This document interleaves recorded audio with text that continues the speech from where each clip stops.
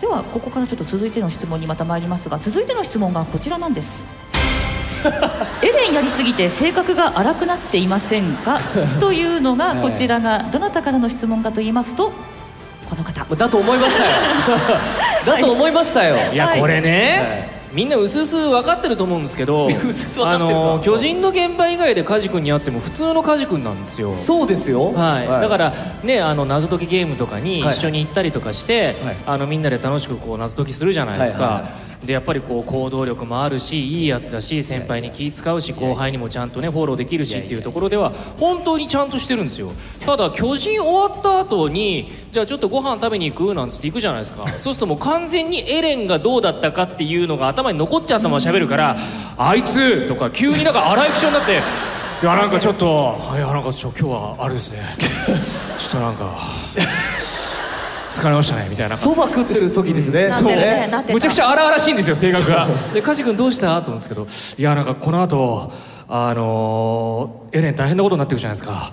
俺どうなっちゃうか分かんないっすって言い始めていやそうそうなんですよもう。か神谷さんに対してどうなっちゃうのかなとかちょっとね。いやしかもまあででも兵長だから。だけどこの幼馴染の2人のに対してはなんか食べてて楽しいはずなのにうるせえよとか言っちゃうんですよ。急に言うんだよ。そう。なんか本当ごめんねもうエレンだからね。みんなのこと大好きなんだよ俺は、うん。今も舞台裏だってもうエレンだったもん完全に。でもそれを言うならね違う、ね。みんなが俺をエレンにさせるんだ。いやほらほらなんかほらちょっとおかしいもの言動が。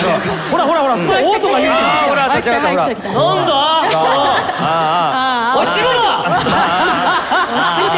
本当にそんな感じだよあエレンすいませんえー。落ち着いてしっかりね裏でなんか出る直前に梶君なんかねななんかねすごいこと言ってて俺本当は目目立ちたくねえんだよ。そうですよ。急に情緒が不安定になってきて。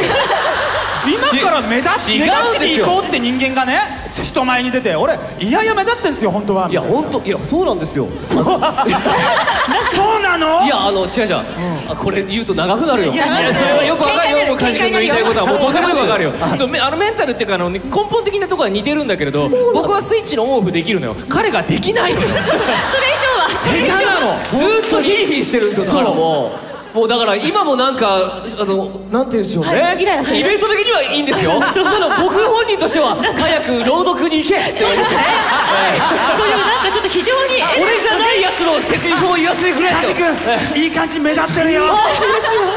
じゃあはお疲れっす。はいちょっとい。やい。やいやいやもう今後どうなっちゃうんだろうと思って、エレンのメンタルが乗り移った梶君は。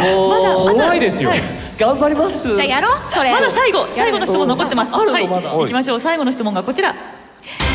人間性はさておきこの人が言うなら間違いないという存在はいますか？というのはさておくんだ。怖い質問ですね。はい、どなたからの質問かというとえー、情緒不安定の僕ですよ。はい。違う違う